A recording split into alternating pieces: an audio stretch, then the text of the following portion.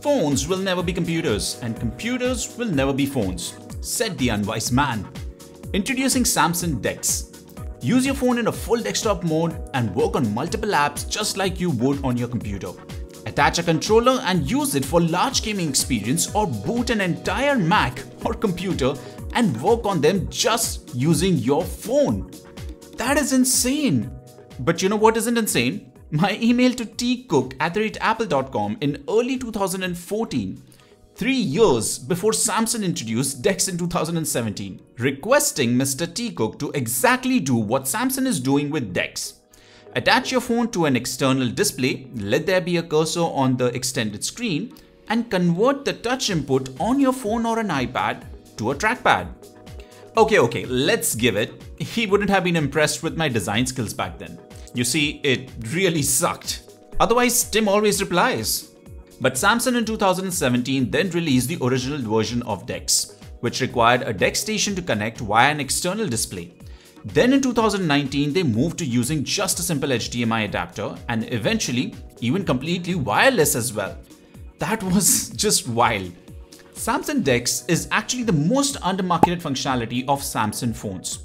Sometimes long-term iPhone users have no clue of this environment even existing. So let's see how should we use DeX. By default, when you connect your phone to an external monitor using HDMI adapter or cable directly, your phone screen is simply mirrored on a large display. But the form factor still remains the same of a traditional tall display of your phone. By switching in the settings to DeX, your external display will refresh and show you this curated environment which resembles a computer desktop. Well, how do you navigate this environment? The moment this environment starts, you will get an icon on your phone. Clicking that will convert your phone to a trackpad. Just like in my email, remember? There are gesture controls built into this trackpad, which are very responsive and operates very intuitively to any touch.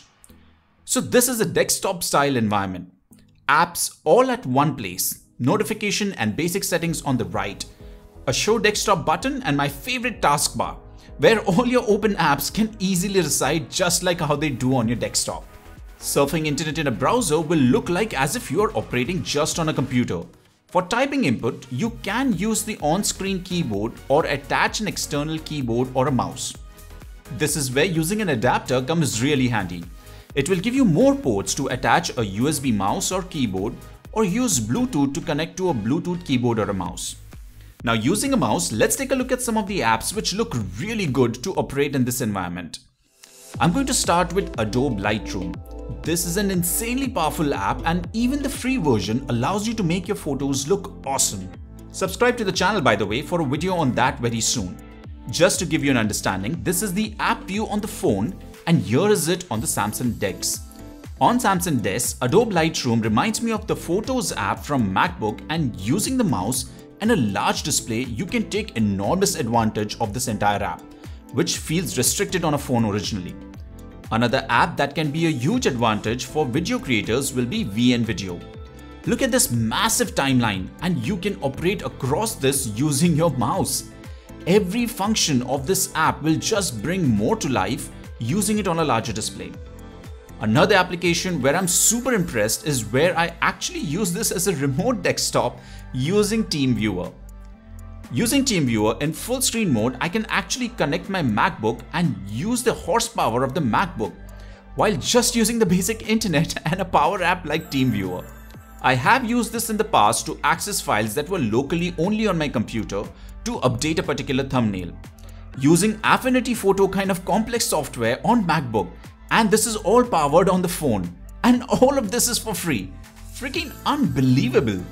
If you have access to Microsoft Office 365, then all applications of Office support the DeX environment.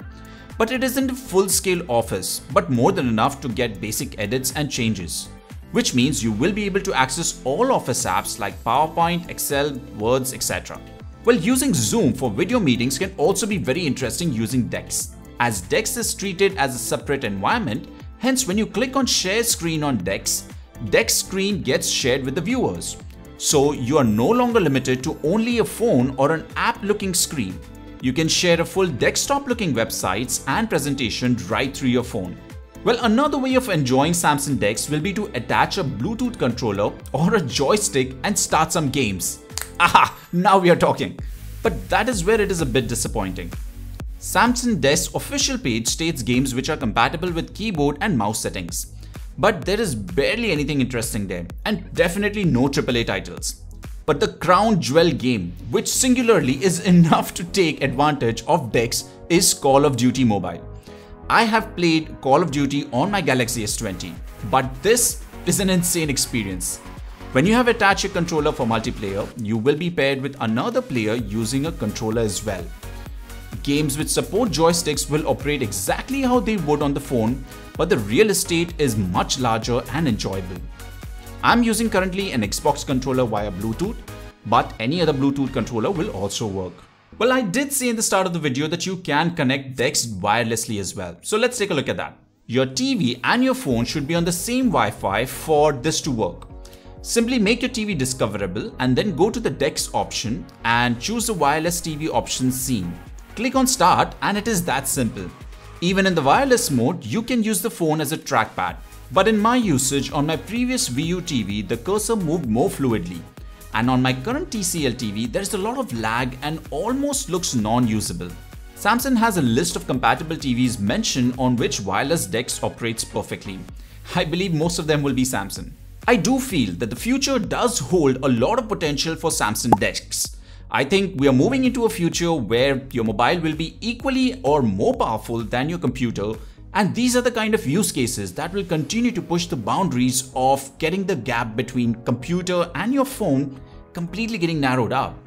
So that was Samsung DeX powerful use. If you want to check out another cool thing like AR Zone which is inbuilt into Samsung phones, then check out this video which has some crazy fun attached to it like live avatars and stuff. If you enjoyed this video and want to continue seeing more interesting videos like this, then click the like button and subscribe to the channel as it helps YouTube understand what kind of content do you enjoy the most and it will recommend you more like that. Hopefully some of mine as well. I'll see you in the next one.